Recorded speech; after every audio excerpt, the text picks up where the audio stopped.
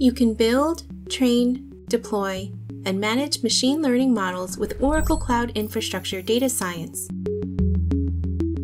Start by launching a session in Jupyter Lab where you can write code in Python. Oracle's Jupyter Lab environment offers a variety of open source libraries for building machine learning models. Install one of our pre-built data science environments, which contain curated sets of libraries for different workflows, tools, and use cases. They work out of the box and contain tutorial notebooks and sample code. Or create your own environment.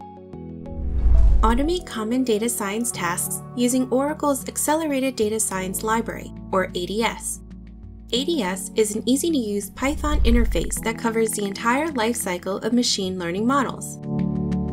It provides a series of APIs on data ingestion, data profiling and visualization, automated feature engineering, automated machine learning, model evaluation, and model interpretation.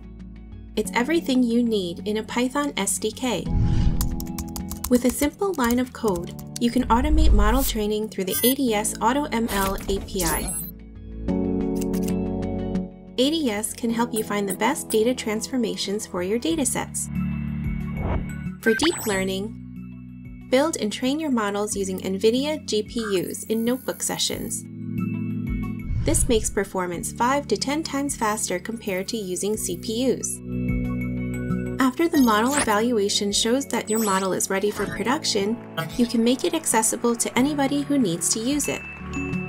Using Managed Model Deployment, deploy models as HTTP endpoints so that your models can deliver predictions on new data in real time. With Oracle Cloud Infrastructure Data Science, it's easy to build and train models and deploy them for everyone to use.